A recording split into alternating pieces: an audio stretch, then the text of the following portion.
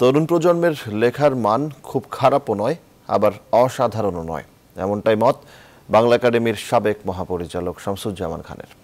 তরুণ লেখকদের হাতেই একসময় বিশ্বমানের সাহিত্য রচিত হবে বলে আশা তার।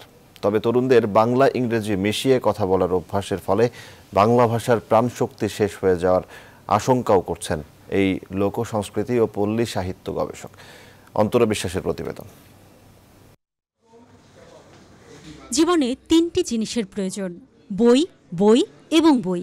এমনটাই বলেছিলেন সাহিত্যিক ও ভাষা তত্ত্ববিদ ডক্টর মোহাম্মদ শহীদুল্লাহ। তবে সেই বই হতে হবে মানসম্মত। এমন মত বাংলা একাডেমির সাবেক মহাপরিচালক শামসুজ্জামান খানের। তিনি বলেন, সাহিত্যের আঙ্গিক বিষয়বস্তু ও উপস্থাপনায় তরুণদের কিছু কিছু লেখায় অভিনবত্ব রয়েছে। তবে তার মতে সেটা ঠিক অসাধারণ নয়। সামগ্রিক অগ্রগতির দিকে যদি তাকিয়ে দেখি, তাহলে সেটা খুব খারাপ এটা বলা যাবে না।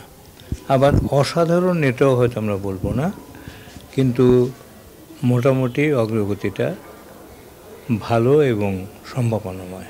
বিশ্বমাপের টিকে থাকার মতো সাহিত্য, সেগুলো আমাদের এখানে এখন পর্যন্ত খুব একটা গুরুত্বের সঙ্গে আমরা উপলব্ধি করতে পারছি না। তিনি আরও বলেন বাংলা ভাষাকে সঠিকভাবে শেখাতে ও সাহিত্য চর্চায় তরুণদের আগ্রহী করতে শিক্ষকদেরকে আরও বেশি এগিয়ে আসতে হবে। অতএব আমরা যখন ভাষা ব্যবহার করব আধুনিক ভাষা ব্যবহার করব বাংলা ভাষা ব্যবহার করব বিদেশি শব্দ যেগুলো আমরা আত্মীকরণ করে নিয়েছি সেগুলোই শুধু আমাদের ভাষায় ব্যবহার হবে যেগুলো হুবহু কোনো ইংরেজি শব্দ যদি ব্যবহার করা হয় তাহলে আমার কথন ভঙ্গি নষ্ট হয়ে যাবে। আমি যে ভাষায় কথা বলব তারও যে সৌন্দর্য সেটাও বিলুপ্ত হবে এবং এই ভাষার প্রাণশক্তি শেষ পর্যন্ত থাকবে না। এই লোক সংস্কৃতি ও পল্লী সাহিত্য গবেষক মনে করেন কথ্য ও আঞ্চলিক ভাষা থাকবে সেটাই স্বাভাবিক। তবে তরুণ প্রজন্মের অনেকেই বাংলা ইংরেজি মিশিয়ে কথা বলেন যা কাম্য নয়। এই দুই ভাষায় মিশ্রণের ফলে অনেক দেশই কিন্তু দুর্বল হয়ে গেছে। যেমন যেমন ফিলিপাইন্সের কথা বলা যেতে পারে।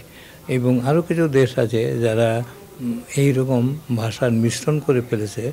তার ফলে জাতীয় চেতনা, সাংস্কৃতিক বৈশিষ্ট্য যে একটি দেশে থাকে, সেই জায়গাটা হলো মূল ভিত্তি সংস্কৃত চেতনা। সেই জায়গাটা নষ্ট হয়ে যায়। যে ভাষার মান রাখতে ভাষা সৈনিকেরা জীবন দিয়েছিলেন, সেই ভাষার মান রাখার দায়িত্ব তরুণ প্রজন্মকে নেয়ার আহ্বান জানান শামসুজ্জামান খান।